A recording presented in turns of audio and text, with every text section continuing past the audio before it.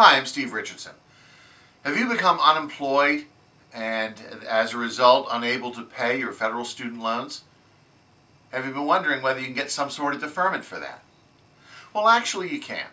If you have federal student loans and you're on unemployment, you can apply for an unemployment deferment. Now, there are a couple of requirements. First of all, you have to be registered with either a public or private employment agency that is located within 50 miles of your home and you have to be actively seeking work.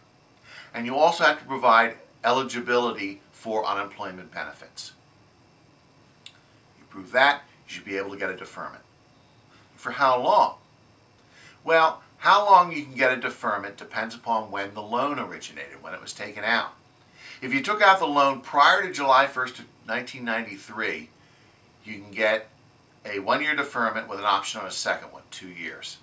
If the loan originated after July 1, 1993, it's for one year with an option on two more, or three years, so it's longer.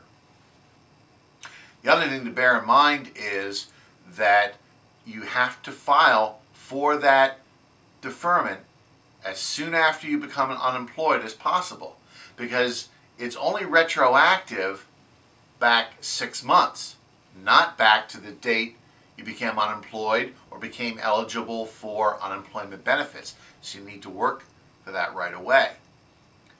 Another option you should look at is a financial hardship uh, defer, deferment.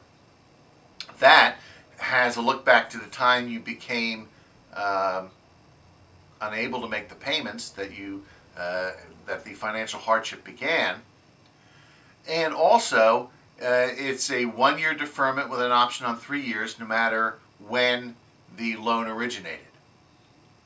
So, if you're unemployed, unable to make your federal student loan payment, and you live here in southern New Jersey, please feel free to give my office a call.